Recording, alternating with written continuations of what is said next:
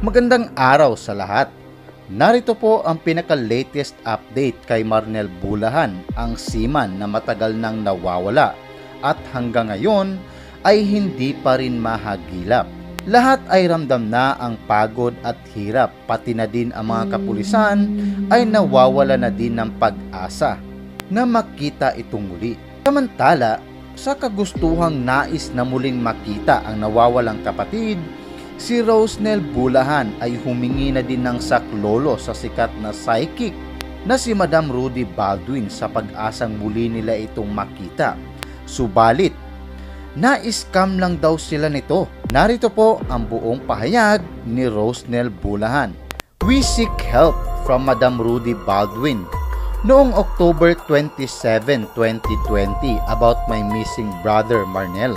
We are very desperate kasi 3 weeks na di pa rin siya nakikita at maraming concerned citizen na nag-comment at nag-message sa akin na humingi nga ng tulong kay Baldwin para maituro kung nasaan yung kuya ko. Ako po mismo ang kumontak sa FB page niya and making sure na hindi fake account kasi super daming fake account at baka ma-scam nga ako.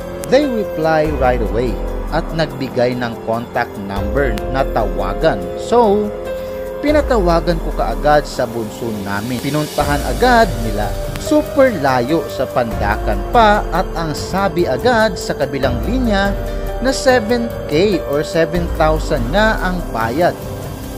So sabi namin okay cause we really need help to find my missing brother. Pumunta nga ang bunso namin at sa pinto pa lang, they asked for 7,000 right away. Meron po kasing parang manager si Baldwin. Okay, to make it short, wala naman po siyang naitulong. Di niya na ituro kung nasaan ang kuya ko at di rin niya alam kung anong nangyari. Kaya parang nagpagod lang ang kapatid ko na pumunta doon buong araw ang biyahe dahil super traffic. Gabi na sila na nakauwi. Nag-suggest pa siya na we need to have a kasulatan to pay her 500,000 pesos para maituro at matulungan kami makita ang kuya ko. So alam ko na na scam and fake news siya. Sabi niya pa sa bunso namin, i-vision kita. Pero another 7,000 uli at sinabi niya na magkaka-COVID ang bunso namin sa December 9, 2020. Another fake news kasi po, November 9, 2020, nakasakay na ng barko ang bunso namin kasi seaman din siya. Post ko po ito to clarify things, hindi po para siraan si Madam Rudy Baldwin. Siguro yung iba niya pong vision tama. Nagkataon sa amin sablay lahat. Once and for all, ito po ang tama kasi kami ang humingi ng tulong sa kanya at meron kaming proof.